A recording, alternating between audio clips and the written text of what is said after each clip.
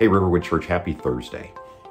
You know, a long time ago, when Jesus walked the earth, Peter came up to him and asked him a question How many times do I need to forgive my brother? Uh, seven times?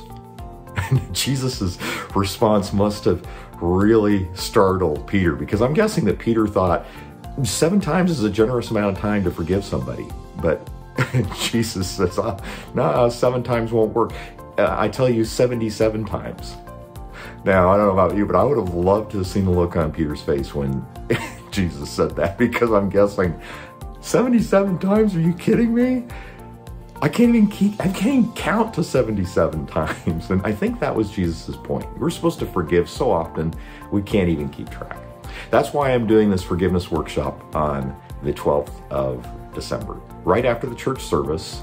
Uh, we have a limited space. It'll be informal. I'm not going to ask you any personal things, but we're going to go through the biblical principles of forgiveness. I think you're going to find some helpful things. If you're not in need of forgiving somebody right now, um, you could still come because you know what? you will be. You will be. And I invite you to be uh, a part of that, um, that gathering that we are going to have. Now, also, I want to invite you to continue to read in First John because we're going to be covering First John chapter 3 this Sunday, and I really look forward to sharing it with you. I am getting excited for Christmas. How about you? There's a good reason for it. We celebrate Jesus coming for us. I hope you have a great day, and I'll see you Sunday.